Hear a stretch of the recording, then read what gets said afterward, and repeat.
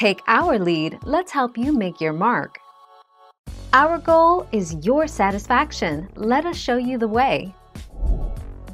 Cook whole in the oven cut the butternut squash in half lengthwise and place flesh side down on a foil-lined baking sheet. Bake at 400 F for 30 to 40 minutes. The squash will be soft and tender when it has cooked through .30 November 2010.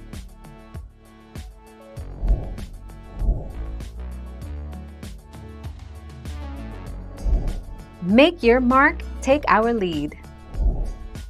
B. How do you thicken mashed butternut squash?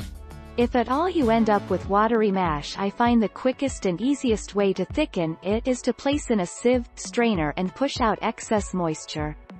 From there you can place in a pot and simmer to try and thicken, dry out. Re-season if needed. 3 October 2020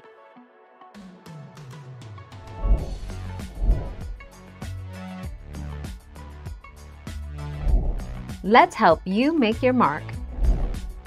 Bake 35 to 60 minutes, depending on size of squash, or until fork tender, easily pierced with fork.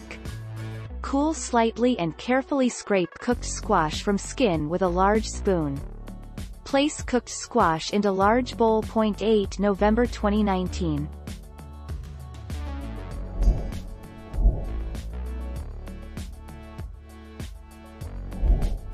Take our lead. Start by making several large slits through the skin with the tip of a sharp knife.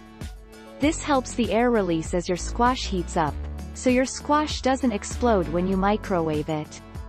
Next, microwave the squash on high for approximately 3 to 5 minutes to soften the skin, which makes it easier to cut. 1 October 2018 Thank you for watching. Please subscribe and hit the bell notification.